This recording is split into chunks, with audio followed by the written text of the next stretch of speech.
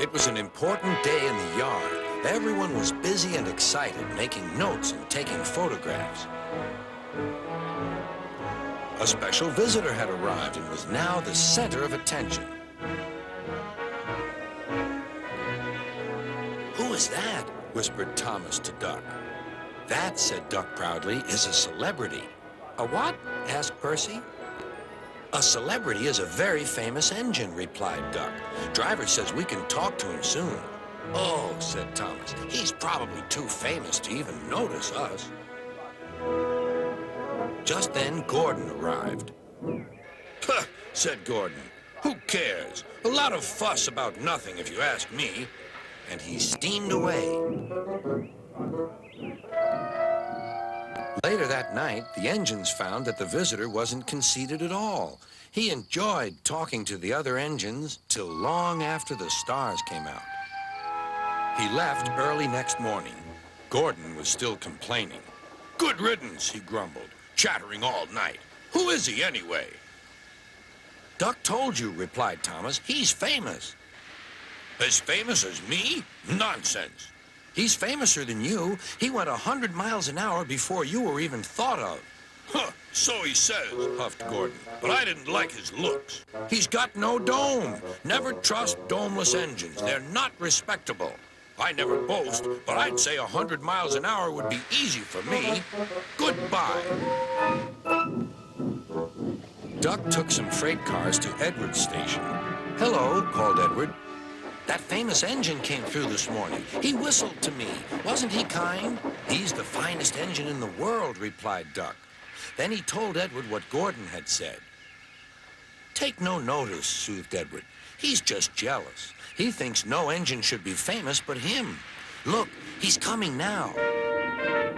Gordon was running very fast. His wheels pounded the rails. I'll do it. He did it, I'll do it. Gordon's train rocketed past and was gone. He'll knock himself to bits, chuckled Duck.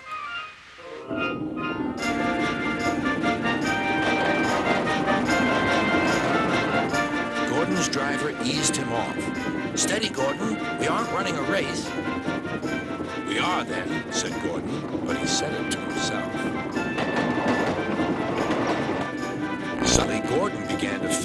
Strange. The top of my boiler seems funny, he thought. It feels as if something is loose. I'd better go slower. But it was too late. On the viaduct, they met the wind. It was a teasing wind which blew suddenly in hard puffs. Gordon thought it wanted to push him off the bridge. No, you don't, he said firmly. But the wind had other ideas. It curled round his boiler, crept under his loose dome, and lifted it off valley below. Gordon was most uncomfortable.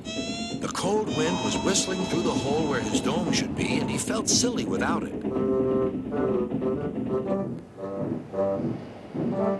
At the big station, the freight cars laughed at him.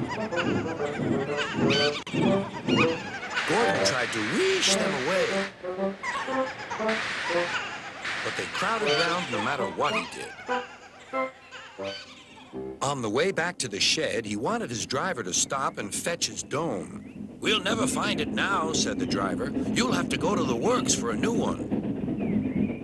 Gordon was very cross.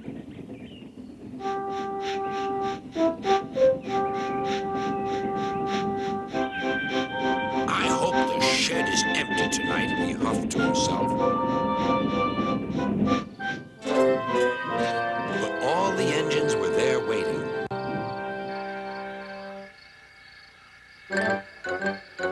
Trust domeless engines, said a voice from somewhere behind him. They aren't respectable.